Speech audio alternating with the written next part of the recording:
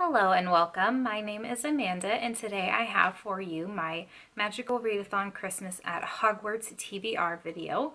So today I am just going to show you the path that I plan to follow and the books that I'm going to read for each prompt for G's latest installment in the Magical Readathon um, series for 2018.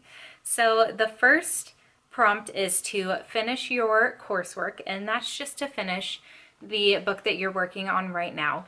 So as I'm filming, it's still a couple days before the readathon starts, and I am currently working on both Bridget Jones's Diary by Helen Fielding and The Hazelwood by Melissa Albert. Um, I'm a little further along in Bridget Jones's Diary, so I might finish this before the readathon starts. If I do, I will obviously default to the Hazelwood as my starting book, but if I don't, then I'm going to continue with Bridget Jones's Diary just because I do want to finish this book up since I'm further along in it. So those are the two options I have depending on how my next couple of days of reading go before the readathon starts. And then from there, you can split off into one of two paths. I am going towards the left, which is helping Hagrid decorate the Christmas trees in the Great Hall. And for this, um, it's basically choosing a book with a golden detail on it. And for this prompt, I am going to be diving into the Crimes of Grindelwald screenplay. Um, this obviously has gold foiling on the font and title, but it also has gold detail, like these are little pickets down here, um, within the artwork on the cover. So I thought this would be a perfect fit. And since it's a screenplay and I have seen the movie already, it's going to be a fairly quick read, which is what I'm looking for in a readathon. So the next path, um, basically no matter what you choose for this first row here, they both go down into uh, Visit the Three Broomsticks for a mold pixie wine. And this is to pick a book that you can read in a day. Um, so if I'm being honest, this challenge always makes me nervous because no matter the size of book I pick, I still only read probably 30 pages at night if I'm reading a physical book. I just don't have a lot of time to pick up books during the week. Um, so I, the smart thing to do would be to pick a like four to six hour long audiobook, but I don't really have any that I want to fit in this category. And I really want to read The Christmas Carol or A Christmas Carol by Charles Dickens. It's been a while since I've read this. And I think I last read it more in a play format. But this version I have is probably like 113 pages. Yeah, it's a whole 113 pages. Um, and it's pretty thick writing. It's a story I know pretty well. So I think I can probably fit this in to one day as long as that day isn't a Wednesday because those are my really long days with violin lessons. So that's what I'm aiming for is to read A Christmas Carol and one day. We shall see how I do. So after that, we have three options. We're on this row here. And I liked, um, I liked, so the way G explained this is to not pick a category that you can fit a book into the easiest, but to pick the category that you would actually want to do.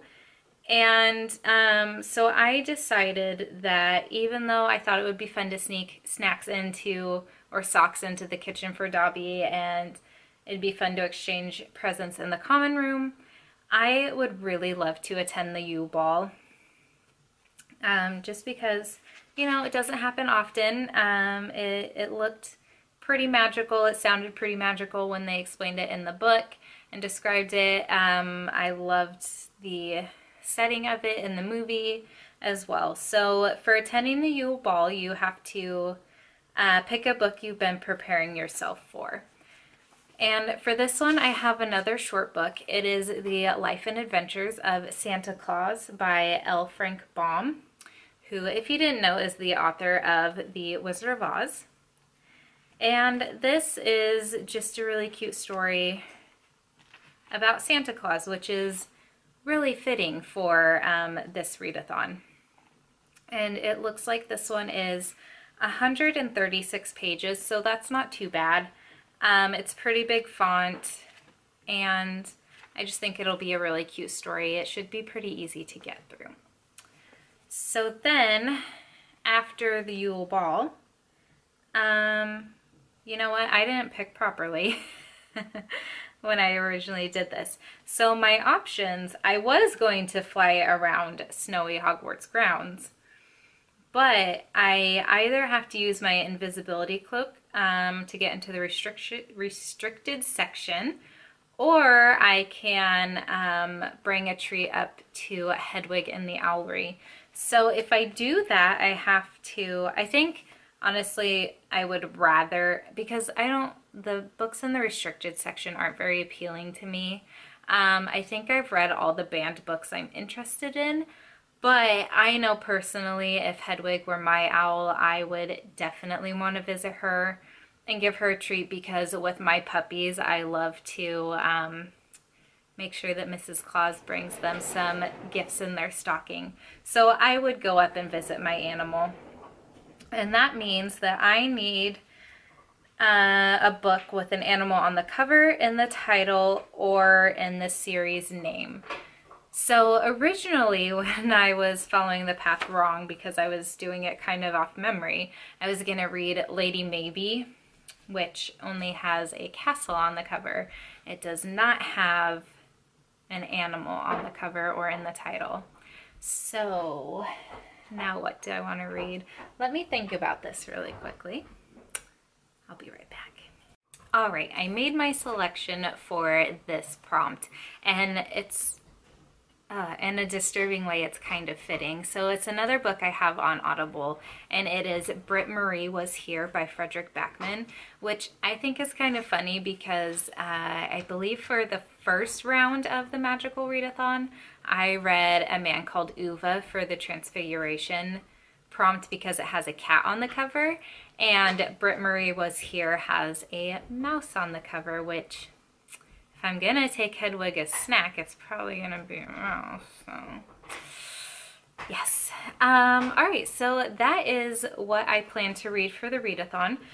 Um, and then basically, no matter what option you pick for this last row, it goes down into the final prompt, which is attending a Christmas feast, and that is basically just treating yourself and watching a Harry Potter movie, which is perfect because Skylar finally listened to um, the rest of the series on audiobook. He marathon through the entire series. I think he stopped around book five. Um, so he finally read six and seven and is has been wanting to watch the movies again. So we can start by watching Sorcerer's Stone. I think that would be really fun. This readathon runs from, I believe it's December 16th through 26th. I think it was originally going to be a week-long readathon, um, and G couldn't figure out if people wanted it during Christmas or before Christmas. So I think it's got a couple extra days tacked on just so that people who want to read during Christmas are able to. Um, but I will put that on the screen or leave that down in the description below um, because I did not prepare well enough and have the dates in front of me. But I do believe it's the 16th through 26th. I'm, yeah. I was just gonna say I know it starts on Monday, but I don't know for sure that it starts Monday. So just forget I said that. So I would love to know if you plan on participating in this readathon. If you do, let me know what path you are choosing to go through and what books you plan to read for each prompt, please let me know down in the comments below and I will chat with you there until my next video. Bye!